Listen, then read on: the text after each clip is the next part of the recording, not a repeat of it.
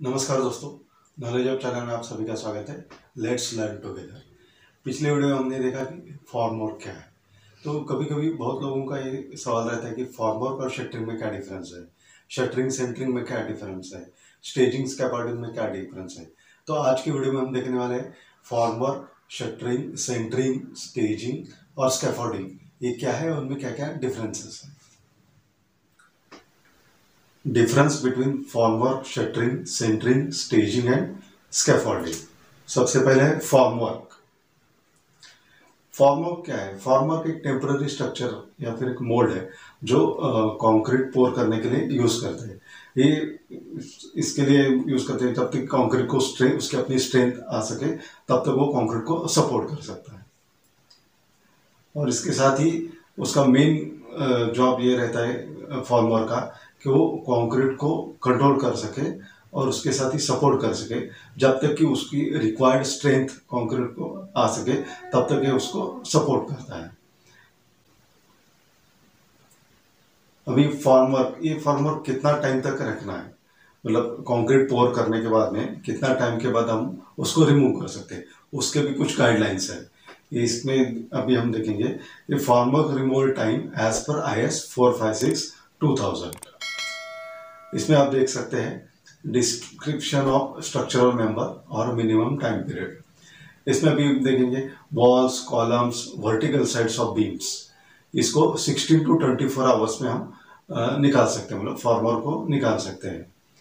इसमें slab slab में कैसे प्रॉप्स को अंदर नीचे रखना है, उसके बाद तीन दिन के बाद आप फॉर्मर निकाल सकते हैं। बीम सॉफिट्स बीम सॉफिट का भी वही है प्रॉप्स जो है, वो प्रॉप्स को रखना है और बाकी फॉर्मवर्क सात दिन में आप निकाल सकते हैं। अभी removal of props to formwork ये फॉर्मवर्क निकालने के बाद प्रॉप्स कब निकालना है? अगर साढ़े चार मीटर तक का स्पैन है तो ये सात दिन के बाद निकालते हैं। और वही अगर साढ़े चार मीटर के ऊपर स्पैन है तो ये चौदह दिन तक रुकना पड़ता है और चौदह दिन के बाद ही प्रॉप्स निकालना है। Removal of props to beams and arches अगर छः मीटर तक का स्पैन है तो चौदह दिन के बाद निकालना है। और वही स्पैन अगर छः मीटर के ऊपर है तो इक्कीस दिन के बाद वो निकालना पड़ता है।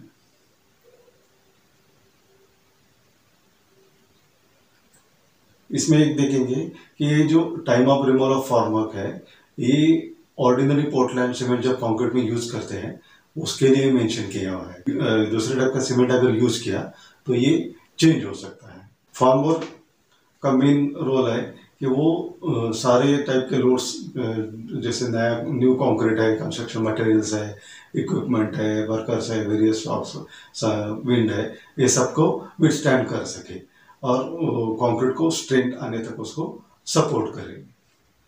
अभी हम बात करेंगे शटरिंग की। शटरिंग शटरिंग एक फार्मर का एक टाइप है।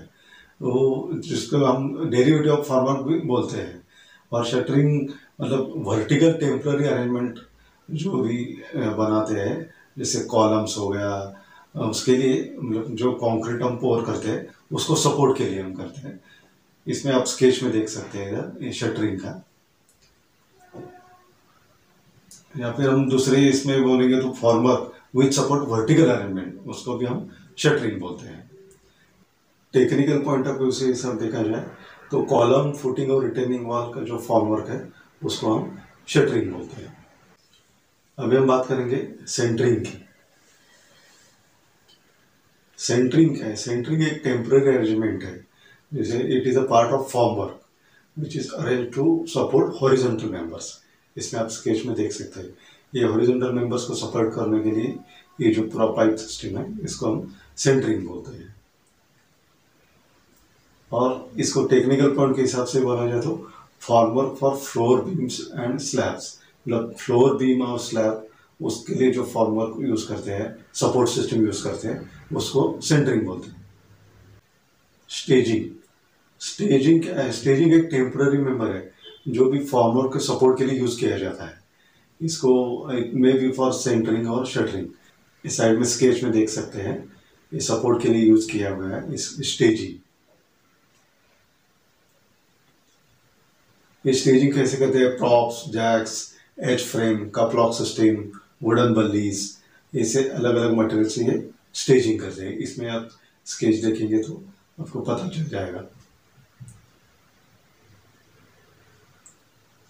उसके बाद है स्कैफोल्डिंग स्कैफोल्डिंग क्या है? स्कैफोल्डिंग मतलब formwork arrange to support the structural members मतलब जो भी फॉर्मवर्क हम करते हैं, उसका एक स्ट्रक्चरल मेंबर जैसे वर्कर्स प्लेटफॉर्म हो गया उसको स्टेजिंग करने के लिए या फिर वर्कर्स को काम करने के लिए एक प्लेटफॉर्म की ज़रूरत होती है। और प्लेटफॉर्म बनाने के लिए ये पूरा पाइप सिस्टम ऐसा जो बनाते हैं उसको हम स्कैफोल्डिंग बोलते हैं। ये मूवेबल रहता है या फिर फिक्स्ड भी रहता है जैसे कि रिक्वायरमेंट है। मतलब इन शॉर्ट मतलब जो वर्कर्स है उसका प्लेटफॉर्म के लिए मतलब बिल्डिंग के अराउंड जो भी आ, काम करना है उसका वर्कर्स के लिए प्लेटफॉर्म बनाते हैं उसको हम फॉर्मवर्क बोलते हैं। Generally plastering brick work painting ये सब के लिए भी ये स्कैफोल्डिंग का यूज़ करते हैं। इधर आप स्केच में आप देख सकते हैं। अभी हम कंक्लूजन देखेंगे ये फॉर्मवर्क है। फॉर्मवर्क एक टेम्पररी मोल्ड है to pour the concrete shuttering क्या है? शटरिंग एक टेम्पररी वर्टिकल अरेंजमेंट है to bring concrete in desire shape मतलब कॉन्क्रीट को डिज़ायर शेप में लाने के लिए वर्टिकल अरेंजमेंट है। जैसे कि कॉलम वॉल या बीम साइड्स हो गया सेंटरिंग क्या है? सेंटरिंग एक अरेंज किया है हॉरिजॉन्टल मेंबर मतलब स्लैब बीम के लिए जो सपोर्ट करते हैं, उसके लिए जो पाइप सिस्टम है, उसको हम सेंटरिंग बोलते हैं। स्टेजिंग क्या है? स्टेजिंग एक टेम्पररी वर्टिकल मेंबर है, जो भी सेंटरिंग और शटरिंग को सपोर्ट करते हैं। और स्कैफोल्डिंग स्कैफोल्डिंग क्या है? वर्कर्स प्लेटफॉर्म है। Around building at to work at heights मतलब सर्टन हाइट के ऊपर वर्कर को काम करने के लिए प्लेटफॉर्म की ज़रूरत होती है, वो बनाते हैं, उसको हम स्कैफोल्डिंग बोलते हैं। तो दोस्तों, हमने देखा फॉर्मवर्क शटरिंग सेंटरिंग स्टेजिंग और स्कैफोल्डिंग क्या है और इसमें क्या क्या डिफरेंसेस है। लेकिन प्रैक्टिकली जब लेबर कॉन्ट्रैक्टर या फिर शटरिंग कॉन्ट्रैक्टर है, वो सेंटरिंग कॉन्ट्रैक्टर ही बोलते हैं। वो फॉर्मल शटरिंग एक ही समझते हैं या फिर शटरिंग सेंटरिंग एक ही समझते हैं। लेकिन एक्चुअल में जो डिफरेंस है वो हमने इस वीडियो में डिस्कस किया। आपको ये वीडियो कैसा लगा आप ज़रूर कमेंट कीजिए। अगर पहली बार मेरा आप चैनल देख रहे हैं तो ज़रूर सब्सक्राइब कीजिए और साइड का बेल आइकन प्रेस कीजिए, ताकि मेरे आने वाले सारे वीडियोस का नोटिफिकेशन आपको मिल सके। धन्यवाद।